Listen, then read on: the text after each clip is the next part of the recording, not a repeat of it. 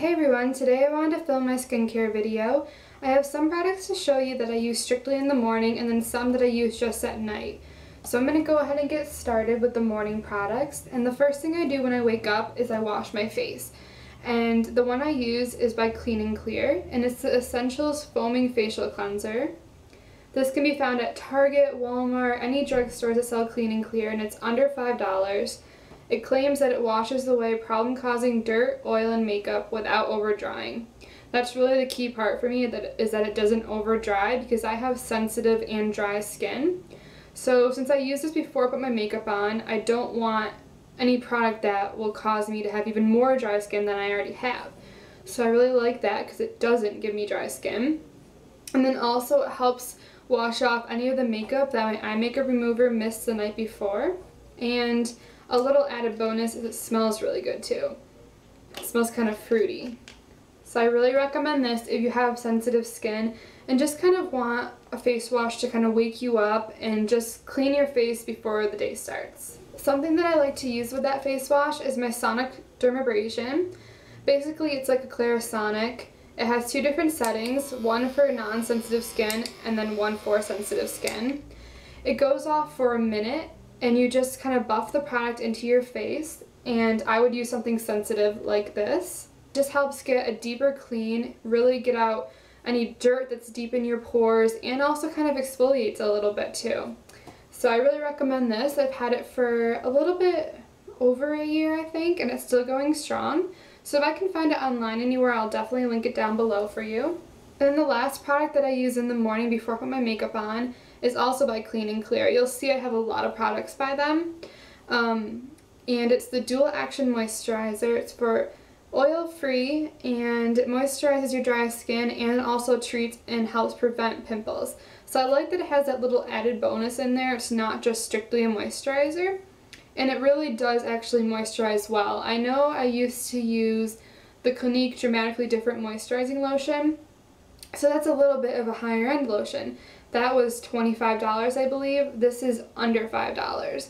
And I think it does, you know, the same exact job, if not better, because it also helps prevent any breakouts from happening.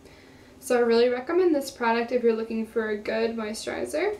Now, in the morning, I really don't do that much to my skin. It's kind of just to help freshen up my skin and just clean it a little bit. At night is where I really do um, kind of my routine.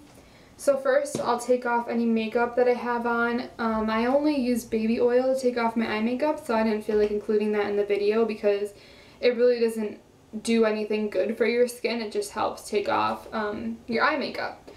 So I have three different products to show you guys and I use them not all at once. Different days I'll use different things. If I want a really intense clean, I'll use the Clean and Clear Advantage Acne Control Cleanser. Looks like this.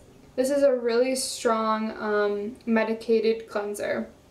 It has, I think, ben yeah, it's benzoyl peroxide, so that's like the main acne fighting medication in it.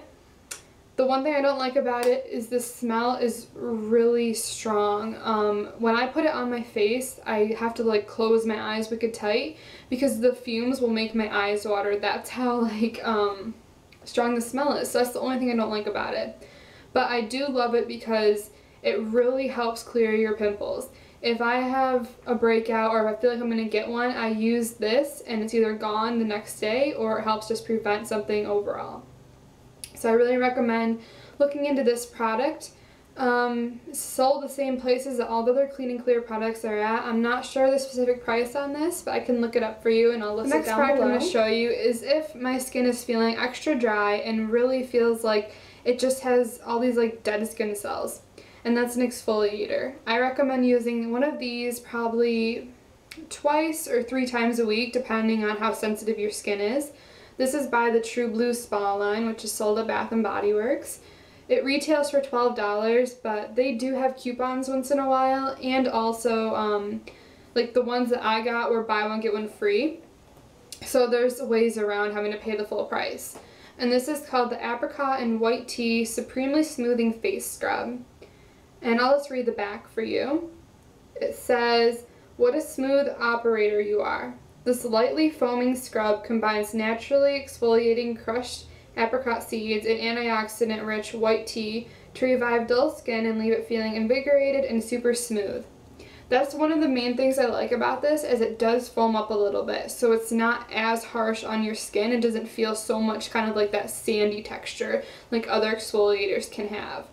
Also the scent is really light on this so if you're um, sensitive to scented products I really recommend this. Now the last product I'm going to show is something that I would also use a couple times a week depending on how I'm feeling and it's also by the True Blue Spa line and it is the Purifying Peel Off Face Mask, and it's in the scent Blackberry. So I'll read the back of this as well. It's formulated with blackberry, known for its super antioxidant purposes, and tree, tree tea oil, known for its purifying powers. This black face mask instantly peels away pore clogging dirt, oil, and debris to help keep your skin looking and feeling flawless. So I mainly use this for my pores to help bring out any blackheads or whiteheads. Um, what I like about a face mask is if I'm feeling like just targeting it on one section of my face, I can just put it on my nose or just on my chin where my pores are larger than the rest of my face. I don't have to put it all over, but if I want to, I have that option as well. And you just leave it on for about 15 to 20 minutes and then you peel it off and it really feels like you have a new layer of skin. This product smells really good too. Like it said, it smells like blackberries. The only scary thing is it is black, so it kind of makes you look a little weird when you have it on. But I've been using this for a couple months now, and I really see a significant difference in my face after I use this. So I really recommend having um, a peel-off face mask to use couple times a week or maybe even once a week if your skin is that sensitive. So those are all the skincare products that I have to show you guys today. I really hope you learned a little bit um, and maybe look into some of the products. I really honestly believe that all of them are great in their own way. So I hope you guys enjoyed this video and I'll talk to you soon.